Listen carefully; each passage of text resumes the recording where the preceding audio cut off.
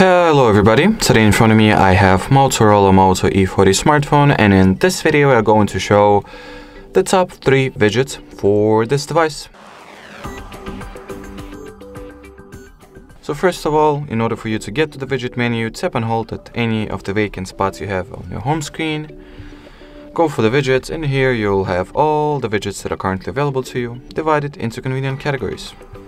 So the first widget that I would highly recommend on getting is the one of two possible calendar designs. So the full scale one will, will, will contain the full month's overview, whilst the compact version of it will only provide you with one day at a time, or should I say one week at a time actually.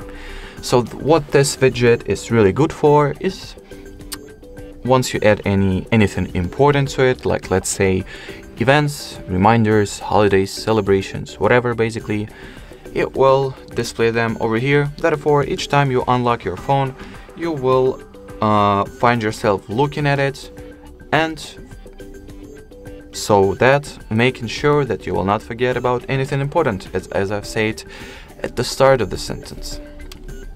Alrighty? Moving on to the next very important, useful and handy widget located at the Google category and called Google search bar.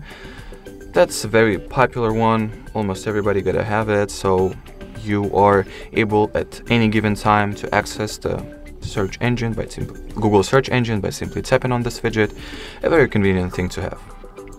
And the third widget is located at the Moto widget category there are three uh, exclusive widgets that are exclusive to Motorola.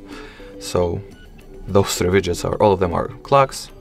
So just choose the design that you'd like to go with, Beyond, Classic or Clean. I'll go with the Classic one and drop it right here for example.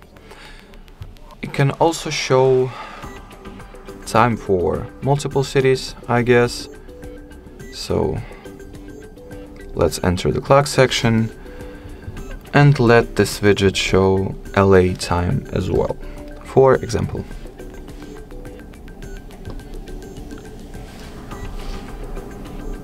Oh, yeah, sure. I've clicked on the wrong part of it. Of course, it it has the add city uh, add city sign in order for you to well be able to see the current weather data. So we have granted this widget the location, access. Therefore, we need to, allow the to just allow all the time option. And from here, I guess it should start showing the weather. Once we enable the current location trigger, it determines our precise location and shows the brief weather summary like the state of the sky, whether it's clear or not, as well as the current uh, air temperature. Alrighty, so that will be it for this video guys. Thank you so much for watching and bye bye.